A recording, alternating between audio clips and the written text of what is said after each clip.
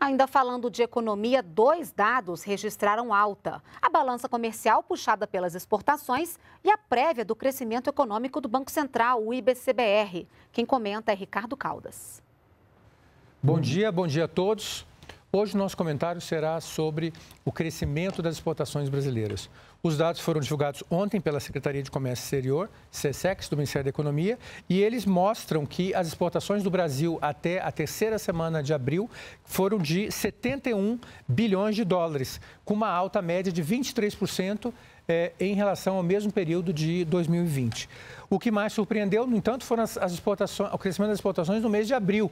Até a terceira semana do mês de abril, nós tivemos um crescimento de 59%, o que é, sem dúvida nenhuma, sem sombra de dúvida, um resultado excepcional. Dentre os setores que a gente poderia destacar, é, cabe mencionar a indústria extrativista, que teve um crescimento de 78,7%, seguida da agropecuária, que cresceu 56,8% em termos de exportações.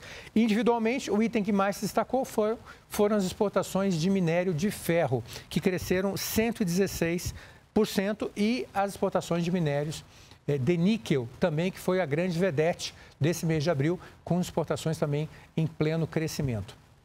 Vamos falar agora sobre um outro assunto importantíssimo, que é o crescimento do PIB brasileiro. Embora o IBGE não tenha divulgado ainda o crescimento do PIB para o mês de fevereiro de 2021, já saiu a prévia do IBCBR, que é considerado como uma, uma simulação de crescimento, mas que se aproxima bastante do resultado oficial do IBGE. Segundo esse número, nós chegamos então a um crescimento de 1,7% em fevereiro.